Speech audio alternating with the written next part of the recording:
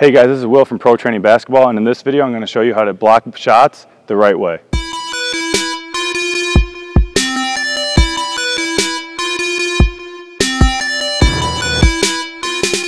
Alright guys, so I'm going to teach you how to block shots, but teach it the right way. So a lot of people think of blocking shots is about spiking a basketball and all of that. That's not this video, alright? That is how you, you do block it that way, but if you want to learn how to do that, you can click over here and learn how to uh, spike a volleyball because that's what it is. All right, I'm teaching you how to block a basketball. And the reason why we don't want to spike it is because it sends it out of play and all of that. It, there is benefits. It does get the crowd involved and stuff like that, I get it. But you want to keep the ball in play and get it to your teammates. So the first and most important thing is being in good defensive position. You want to make sure that you're in help side if you're in help side or able to meet the guy that's been uh, is attacking the basket, probably beat his defender and you want to be in good position, all right? And once you're in good position, when the guy drives to the basket, you need to step over and meet them, but be an athletic stance, all right? So you, just like everything else, you want to be low and be on balance, all right? But you need to have a quick jump. So uh, one way to improve your ability to block shots is by improving your jumping or your quickness. So you can check out my uh, two previous videos and that'll help you out there.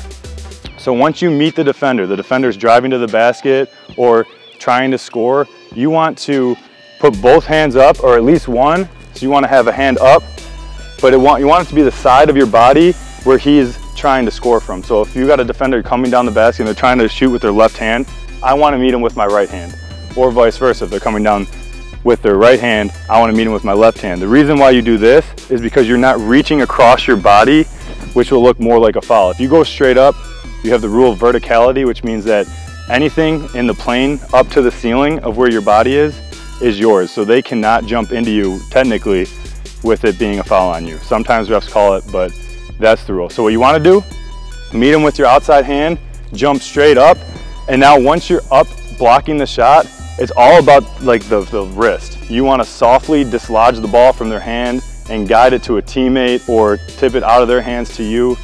Um, obviously, Sometimes you're gonna hit it out of bounds, that's fine, but in order to be a good shot blocker, when you're up there ready to block a shot, you're guiding it in the right direction of your team to start a fast break. So I just wanna show you a couple times real quick in full speed where I block Tony's shot because I do it all the time, and uh, let's clip away to that.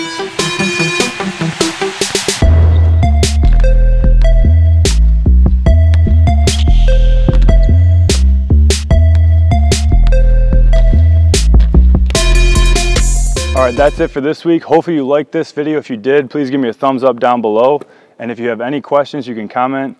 And uh, for last week's video, it's right here, so you can check that out. And hopefully I can see you next Thursday so we can help you perfect your game. Hey guys, I'm giving you guys the opportunity to help Tony and I build a brand. Obviously, Pro Training Basketball is growing and we want to continue the growth and help you guys get better videos and give you more tutorials and increase your game. So if you're interested in getting a Pro Training t-shirt that'll help us build a brand, click in the top right corner Again, we only ship to the US right now, but if you want to help us build a brand, we really appreciate it. Again, thank you and see you next Thursday. All right, try and score. He can't block my. yeah, just lay it off flatter. Yes, I can.